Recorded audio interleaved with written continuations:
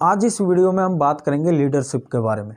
दुनिया में जितने भी लीडर्स होते हैं, वो कितने तरह के होते हैं। जब आप इस वीडियो को पूरा देखेंगे तो आपको ये पता चलेगा कि अभी आप कौन सी कैटेगरी में हैं और आपको कौन सी कैटेगरी में पहुँचना है। देखिए, दुनिया में मोस्टली पाँच तरह की कैटेगरी होती है। जितने भी लीडर्स हैं, उनकी पाँच कैटेगरी है। हम हर एक कैटेगरी को ध्यान से समझते हैं। सबसे पहली कैटेगरी ये वो लीडर होते हैं जो किसी गोल को डिसाइड करते हैं और उस गोल को अचीव करने की कोशिश करते हैं। लेकिन जब ये एक बार फेल हो जाते हैं तो ये हार मान लेते हैं। ये कह देते हैं कि भैया, ये गोल अचीव नहीं होने वाला। ये मतलब शुरू में ही हार मान लेते हैं। दूसरे तरह के जो लीडर्स होते हैं, ये क्या करेंगे कि जब गोल को अचीव करने की कोशिश करेंगे और एक बार फेल हो जाएँगे तो उसके बाद ये थोड़ा सा एनालिसिस करते हैं। ये चीज़ों को समझते हैं। और फिर उसके बाद ये आपको एक लॉजिकल कारण बताएँगे कि भैया, इस वजह से ये गोल अचीव नहीं होने वाला। मतलब जो पहले तरह के लीडर्स थे, वो तो ऐसे ही आपको मना कर देंगे कि भैया, नहीं, ये गोल अचीव नहीं होगा। लेकिन जो ये दूसरे तरह के लीडर्स हैं, ये आपको एक लॉजिकल कारण बताएँगे कि भैया, इस वजह से ये गोल अचीव नहीं हो सकता। इसके बाद आते हैं तीसरे तरह के लीडर्स जो थोड़े और बेटर हैं। ये क्या करेंगे कि अगर मान लो किसी गोल को ये एक बार में अचीव नहीं कर पाए, एक बार फेल हो गए तो ये दोबारा ट्राई करेंगे।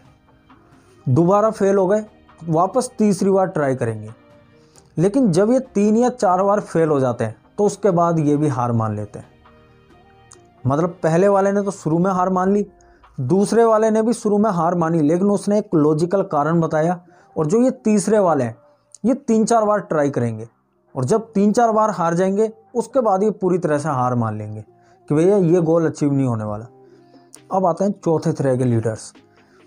ये वो लीडर्स हैं जिन्हें आप चाहे कितनी बार ही इन्हें गिरा दो, ये फिर से उठ के खड़े हो जाएँगे।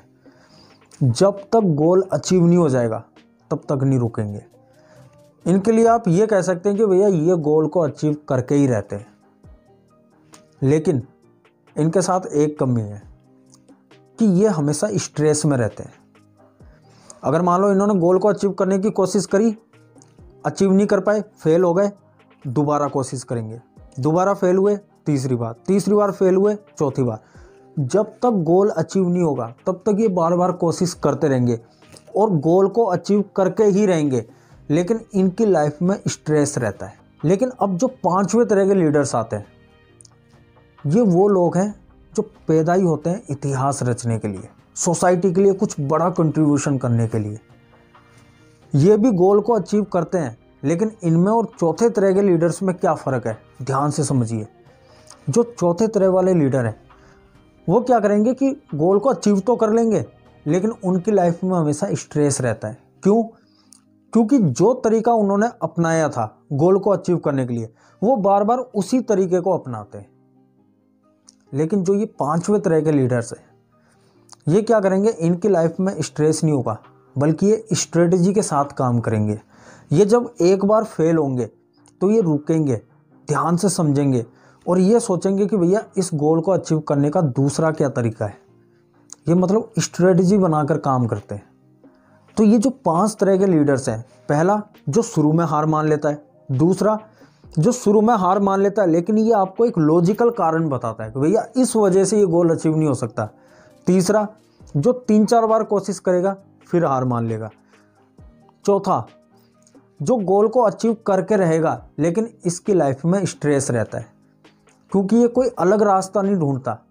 जिस तरह से ये पहले कोशिश कर रहा था, उसी तरह से बार बार कोशिश करेगा और गोल को अचीव करके रहेगा, लेकिन उस एक ही तरीके से। लेकिन जो ये पांचवी कैटेगरी है, ये लीडर्स जो है, जब एक बार फेल हो जाते हैं तो ये रुक कर सोचते हैं कि भैया और कौन सा तरीका हो सकता है। ये स्ट्रेटजी के साथ काम करते हैं। जब दूसरी बार फेल होंगे तो तीसरा तरीका ढूंढेंगे। तीसरी बार फेल होंगे तो चौथा तरीका ढूंढेंगे। मतलब गोल को अचीव तो ये भी करेंगे, लेकिन ये स्ट्रेटजी के साथ काम करेंगे, ये स्ट्रेस लेकर काम नहीं करते। तो ये पाँच तरह के लीडर्स होते हैं। तो आपको ये देखना है कि अभी आप कौन सी कैटेगरी में और आपका मकसद क्या होना चाहिए पाँचवें तरह की कैटेगरी में पहुँचना। मतलब गोल को अचीव करना है, लेकिन स्ट्रेस के साथ नहीं स्ट्रेटजी बनाकर।